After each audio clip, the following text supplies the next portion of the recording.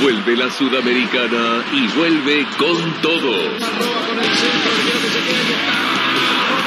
Llegan los octavos de final con un duelo con mucha historia.